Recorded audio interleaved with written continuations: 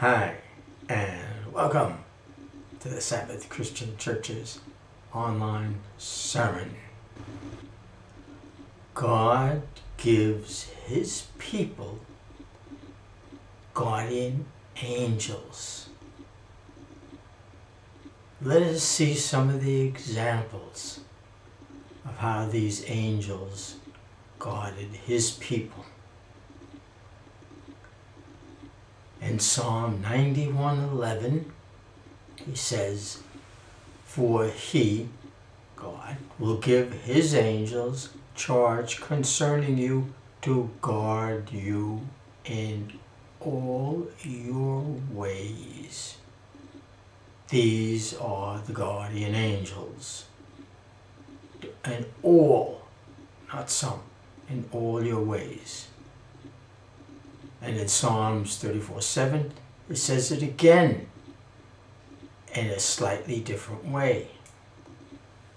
The angel of the Lord encamps around them, encamps around them, totally surrounding them and, and protecting them and guarding them, around them, around those who fear him and rescues them. This is what the guardian angels from God do for his people. Very special things. Now, let's take a look at an example of this and others to follow. In Genesis 16 7 through 9, now the angel of the Lord found her by a spring of water in the wilderness. She had been having trouble with her mistress. And she, she was, she was going to get out of town. And the angel of the Lord said to her, Return to your mistress and submit yourself to her authority. This is what you have to tell you. No, she's one of God's people. Her mistress is somebody that is, uh, uh, is that she works for, and he, the angel, I don't know if he or it, the angel said, you will have large descendants in the future.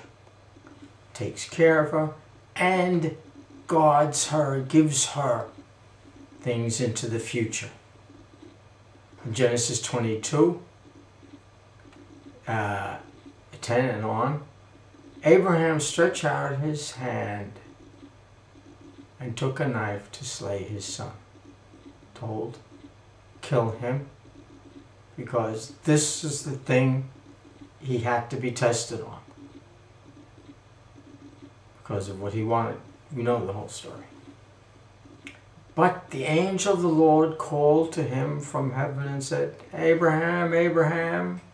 Abraham said, Here I am. And the angel said to him, Do not stretch out your hand against the lad with the knife and do nothing to him. For now I know that you fear God, since you have not withheld your son, your only son, from me. So the angel came and told him this, and gave him this information. And this was the big test, and God used a, a guardian angel to reach out to Abraham. And Psalm 34 7. Oops. Sorry. There we go. In Genesis 24 40, he said to me, The Lord, before whom I have walked, will send his angel to you to make your journey successful, and you will take a wife for my son and for my relatives and from my father's house. So again, God sent, said to him and helped him on his journey. Genesis 32 1 says, Now, as Jacob went on his way, the angels of God met him. And when Jacob saw them, he said, This is God's camp each time the angels come, they do something special for God's people. In Exodus uh, 23:20 says, "Behold, I'm going to send an angel before you to guard you along your way, to bring you to the place I have prepared, for a place which I have prepared." This is what the angels do. Journeys kind.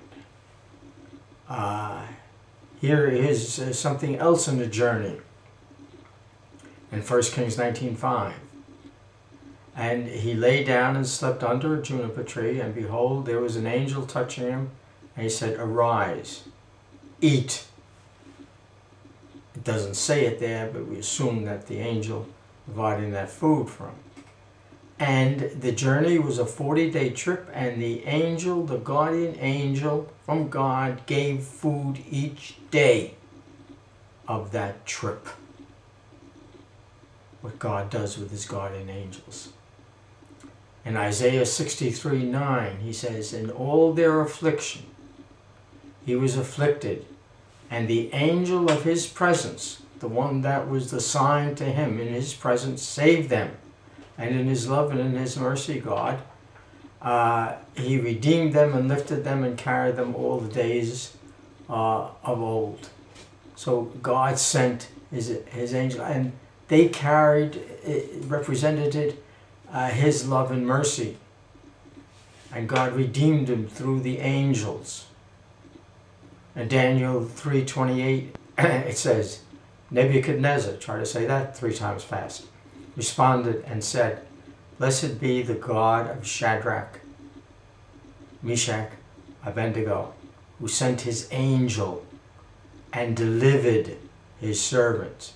Very important. They are there to die.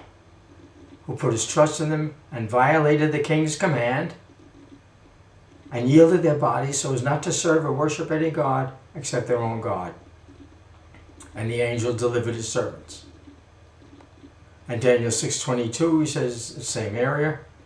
My God has sent his angels and shut the lion's mouth. They have not harmed me, inasmuch as I found uh, I was found innocent before him, and toward you, O king, I have committed no crime.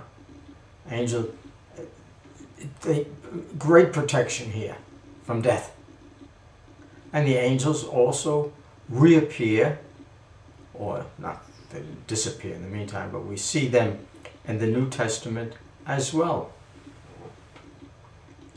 And in Luke 15 uh, 10 says, Jesus says, In the same way I tell you, there is joy in the presence of the angels of God over one sinner who repents. And this is, they're, watching and they're seeing they're repenting and they, uh, uh, they, they express their joy. They, are, they want God's people to do well. They will do whatever is necessary to take care of them.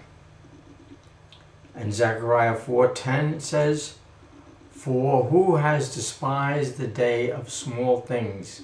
But these seven will be glad when they see the plumb line uh, in the hand of Zerubbabel. These are the eyes of the Lord which range to and fro throughout the earth. So God has his eyes, he's, they're there for us. They were there for them. They're there for us. This is just an overview. In Matthew 28, 5, it says, The angel uh, said to the woman, Don't be afraid, for I know that you're looking for Jesus who's crucified. Not here. He's risen. Uh, and he says, Tell the disciples, and he's going ahead into Galilee. And behold, I have told you. The angel ministered in Mark 1 uh, to Jesus after he uh, was tempted by the demon. And we see just from this brief view of several people that the God has his guardian angels here for us. Hebrews 1.14, Are they not all ministering spirits sent out to render service for the sake of those who will inherit salvation? Amen. And thank you for watching and listening.